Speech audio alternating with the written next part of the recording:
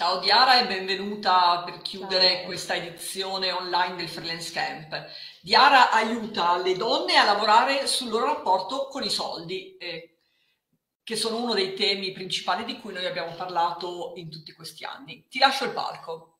Ok, allora eh, condividiamo le slide. Quindi oggi non solo numeri, l'importanza del nostro rapporto con i soldi per far quadrare i conti, perché i soldi sono il mio cavallo di battaglia e anche il cavallo di battaglia del freelance camp, e perché appunto i soldi veramente influenzano ogni aspetto della nostra vita, se siamo freelance è per guadagnare e per vivere, però purtroppo se andiamo a guardare sia la nostra vita ma anche l'esperienza delle persone che conosciamo, ci rendiamo conto che in maniera generale eh, ci preparano poco a gestirli, sia da un punto di vista pratico, quindi abbiamo visto il mitico file Excel di Alessandra e di Enrico, ma anche da un punto di vista emotivo, che è l'aggettivo che uso per riassumere il discorso del nostro rapporto con i soldi. Poi, se guardiamo proprio il lato più prettamente sul far quadrare i conti, perché è così importante? Perché far quadrare i conti è proprio una delle dimensioni del benessere finanziario e per benessere finanziario intendo proprio il fatto di essere eh, soddisfatte o soddisfatti della nostra eh, situazione finanziaria, che non è collegato a un numero assoluto perché ognuno di noi poi ha esigenze, valori e, necessi- e desideri diversi, però se vogliamo appunto sentirci bene, eh, far quadrare i conti è un elemento imprescindibile, impreced- oh, vabbè, imprescindibile, vabbè, non ce la faccio, è un elemento essenziale eh, perché appunto è collegato al nostro senso di sicurezza nel, nel presente.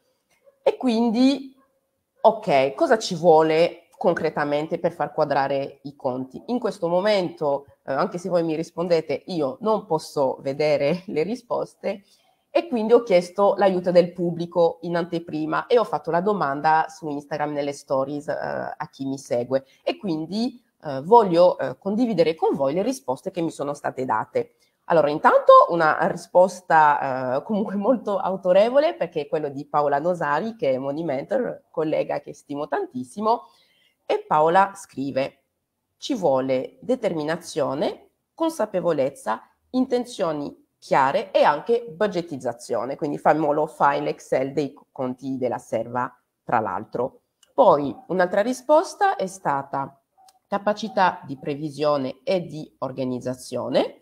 Un'altra ancora, non avere le mani bucate, con poi l'emoji che ride con le, le lacrime agli occhi. E infine eh, l'ultima risposta che ho avuto è stata eh, capire le entrate, uscite, voci di spese, spese impreviste e anche spese di impulso. Quindi andando a guardare tutte queste varie risposte, vediamo che effettivamente per far quadrare i conti non sono soltanto i numeri, quindi il famoso budget, le voci di spese, cosa sono le mie entrate, cosa sono le mie uscite. C'entrano anche delle cose che sono proprio collegate al nostro rapporto con i soldi, alle nostre emozioni, eh, perché ad esempio eh, il nostro carattere anche, quindi la determinazione, la consapevolezza, eh, non avere le mani bucate, che noi possiamo pensare che è il nostro, no, nostro strato ehm, diciamo distintivo e anche se pensiamo appunto alle spese di impulso, quando è che spendiamo impulsivamente, eh, quando siamo appunto spinti dalle nostre, dalle nostre emozioni. Quindi non è soltanto una questione di, eh, di numeri. Quindi eh, far quadrare i conti sono tutta una serie di comportamenti che noi dobbiamo eh, adottare. E lì eh, ho chiesto in aiuto il Consumer Financial Protection Bureau eh, statunitense che aveva creato questo bellissimo diagramma per spiegare da cosa dipende il benessere finanziario e lì mi interessa proprio la parte dove c'è appunto scritto comportamenti finanziari, perché se pensiamo appunto eh, a cosa serve per far quadrare i conti, vediamo le risposte che io ho ricevuto, quindi c'è la parte del budget, quindi faccio il mio budget, poi c'è la parte di monitoraggio, quindi il file di consultivo che eh, ci ha fatto vedere Enrico, e poi eh, come si passa dal budget al consultivo è proprio il nostro uso dei soldi, così cosa facciamo e cosa eh, non facciamo con questi soldi che noi abbiamo. E quindi questi comportamenti finanziari da cosa eh, dipendono? Dipendono, ci dice il CFPB, dalle opportunità eh, disponibili, quindi ad esempio se io non ho eh, il file Excel, come lo riempio? Quindi ora, oggi, abbiamo avuto questa bella opportunità di avere questo file che noi possiamo utilizzare. Poi dipende anche dalla nostra eh, personalità e dal nostro atteggiamento, dipende anche dal contesto della decisione, quindi ad esempio al momento questo file Excel è eh, facoltativo, se per qualche motivo diventasse obbligatorio, a questo punto lo dovremmo utilizzare eh, tutti e tutte. E poi dipende anche dalle nostre conoscenze dalle nostre competenze. Eh, abbiamo visto i commenti rispetto al file di Enrico che dicevano mi rendo conto che uso eh, Excel per il cioè, 10% delle potenzialità, oppure quello che ci diceva eh, Laura che eh, mancano anche delle eh, conoscenze a livello fiscale per poter sfruttare al meglio il nostro regime e il nostro o la nostra commercialista. Quindi tutte queste cose a loro volta da cosa dipendono anche? Dipendono anche appunto dal contesto economico e sociale, perché noi non viviamo nella nostra bolla, viviamo appunto in mezzo al mondo e tutto quello che sta succedendo ci influenza. Quindi prendendo sempre l'esempio di quello di cui ha parlato Laura, ad esempio il cambiamento della riforma eh, fiscale andrà a cambiare tutta una serie di cose e di conseguenza anche i nostri comportamenti. Ricordo qualcuno che diceva se risparmio dei soldi prometto a Draghi che li spenderò tutti, quindi il contesto in generale va a influenzare il mio, il mio comportamento. Quindi abbiamo visto questo. Passiamo appunto al rapporto dei soldi, che rispetto alla slide successiva è quello che uso per esemplificare un po' nostro, la nostra personalità e anche il nostro atteggiamento rispetto ai soldi. Quindi, se pensiamo ai soldi e a come le usiamo, come li guadagniamo, eccetera, tendenzialmente cosa proviamo? Cosa pensiamo? Cosa facciamo? Ognuno di questi tre elementi influenza gli altri. Quindi se penso all'idea di creare il mio budget, quali sono le emozioni che provo, che fanno sì che creo questo budget oppure non creo questo budget? Quali sono a loro volta anche i pensieri che fanno sì che creo il budget o non creo il budget?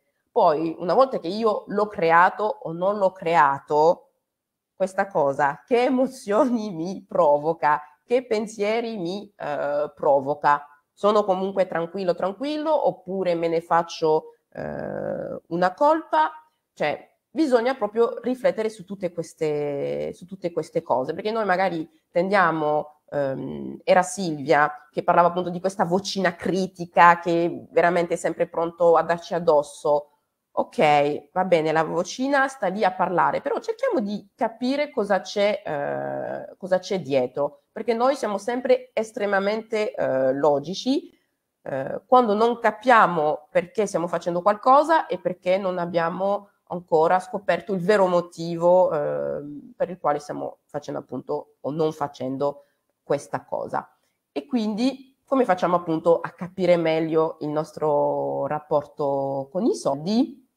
Anche lì andiamo a capire cosa lo sta influenzando. Un po' l'abbiamo visto nella slide sul benessere finanziario, però lì più nello specifico, quindi cos'è la nostra personalità, quindi siamo, siamo una persona più spontanea, che ama di più la spontaneità o che ama di più la pianificazione, questa un, avrà un'influenza sul fatto di fare un budget o non fare un budget e poi rispettarlo, non rispettarlo e in quale misura la nostra famiglia, come siamo stati eh, cresciuti, abbiamo avuto un esempio di si fa un budget, si segue il budget oppure no, cosa ci dicevano i nostri genitori, la famiglia più, uh, più allargata, ma anche le nostre esperienze personali. Abbiamo già provato a fare dei budget, ha funzionato, non ha funzionato, uh, quali conclusioni abbiamo tratto da queste esperienze e poi Ehm, in maniera anche più larga, perché di nuovo non viviamo nella nostra eh, bolla, sia la nostra personalità, la nostra famiglia, le nostre esperienze personali, sono anche loro eh, influenzate appunto dalla eh, società, la cultura, la religione, la spiritualità,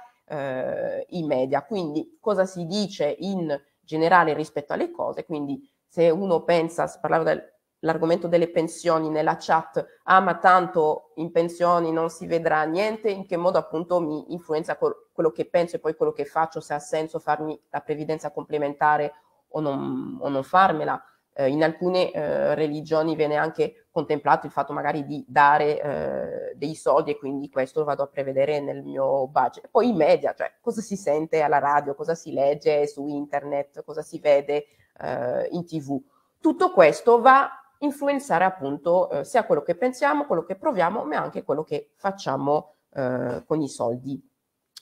Detto questo, concretamente, perché qua è toolbox, quindi dobbiamo avere degli strumenti concreti, eh, una delle cose che a me piace molto è proprio il journaling, quindi prendere carta e penna e scrivere quello che ci passa per la mente, così che eh, mettendolo, mettendolo, nero su bianco eh, lo rendiamo più eh, concreto, più visibile e poi eh, se questa cosa la facciamo regolarmente, poi possiamo tornare indietro per vedere comunque ehm, le, le differenze, i progressi che, che abbiamo fatto. Quindi io ho eh, tre domande, eh, tre frasi da eh, completare che possono cominciare ad esplicitare eh, perché riuscite o non riuscite a far quadrare i conti. E quindi eh, questa, la prima domanda che potete farvi è non si dovrebbe, anzi la frase da completare, non si dovrebbe mai spendere soldi per, e scrivete, si dovrebbe sempre spendere soldi per, e scrivete sempre, e poi dal punto di vista dei soldi, merito, e anche lì eh, scrivete.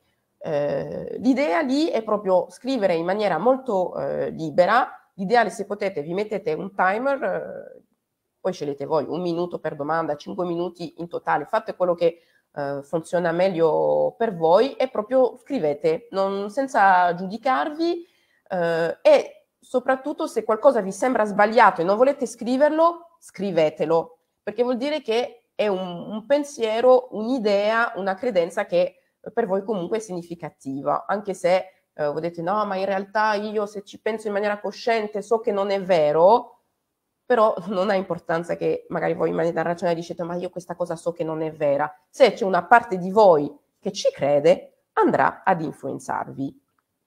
Poi eh, un altro strumento che voglio condividere con voi, che mi piace molto anche per mettere a tacere eh, la vocina critica e per prendere questa giusta distanza che ci permette anche di vedere le cose con più eh, oggettività, è lo strumento degli archetipi che è stato sviluppato dalla mia mentore Deborah Price, con la quale mi sono formata eh, al Money Coaching Institute e eh, lei eh, praticamente usa otto archetipi per descrivere il nostro rapporto eh, con i soldi. E lì l'idea è che questi archetipi non, non, è un testo di personalità, non è che uno è un ar- archetipo, ognuno di noi ha tutti questi archetipi in sé, poi in base al nostro vissuto, alla nostra personalità e anche al momento presente che stiamo vivendo, allora si esprimono determinati archetipi e anche determinati aspetti di questi archetipi. Però eh, in linea di massima ogni archetipo ha un po' una motivazione principale che lo spinge eh, nel suo uso eh, dei soldi. Quindi per l'innocente è eh, la ricerca della sicurezza, per la vittima è la sopravvivenza, per il guerriero è la maestria, per il folle è eh, il divertimento, il piacere, per il martire è il servizio degli altri, per il creatore artista è eh, la creatività, eh, l'arte la spiritualità, per il tiranno è il controllo e per il mago invece è la trasformazione. E quindi è interessante quando poi noi osserviamo i nostri pensieri, i nostri comportamenti, le nostre emozioni eh, rispetto ai soldi, poi eh, capire ma qual è la, l'archetipo che sta agendo in maniera più o meno esplicita e quindi dire ok, ma io se magari questo archetipo non mi sta aiutando in questo momento, ma cosa gli direi? Cioè come cercherei di rassicurarlo, come cercherei di soddisfare i suoi bisogni. E quindi eh, appunto a me questo strumento di archetipi mi piace veramente molto per questo, per questo motivo.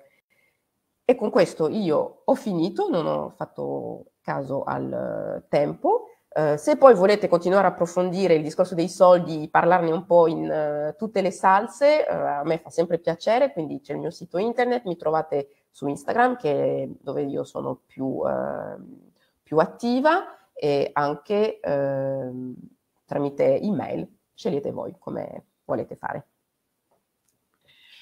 Grazie Diara, davvero, è una conclusione fantastica questa degli archetipi per questa edizione del Freelance Camp Online. Sei stata anche bravissima con i tempi perché siamo perfettamente rientrati nel ah. piccolo ritardo che avevamo, quindi top. Ottimo. Continuiamo la conversazione poi su Instagram e, e adesso ancora per qualche minuto di là nelle stanze e nella chat. Grazie. Grazie a voi.